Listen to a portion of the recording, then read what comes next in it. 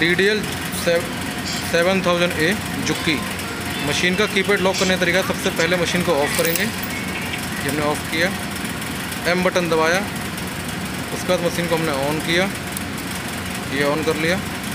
M button छोड़ के ये प्लस वाले बटन से हम एक तो हमें जाना है जे फोर्टीन पर।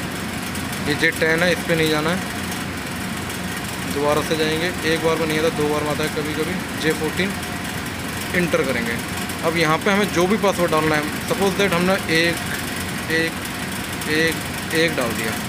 उसके बाद इंटर कर देंगे। ये हमारा लॉक लग गया है। अब मशीन को एक बार बंद करेंगे।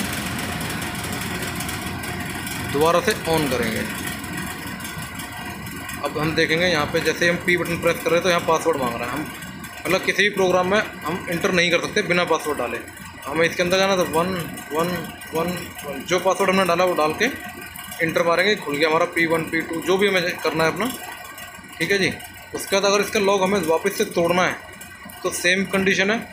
मशीन को ऑफ़ करेंगे पहले। ऑफ़ किया। एम बटन दबा के ऑन करेंगे। ऑन कर लिया। यहाँ पे पासवर्ड मांगेगा। पहले पासवर्ड देंगे।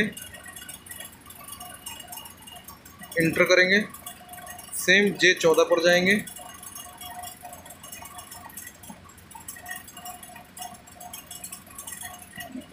निकल गया, दोबारा से करते हैं।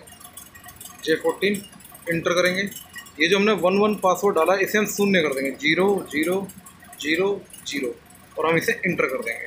अब चेक करेंगे कि हाँ ये मांग रहा पासवर्ड यानी मशीन बंद करेंगे।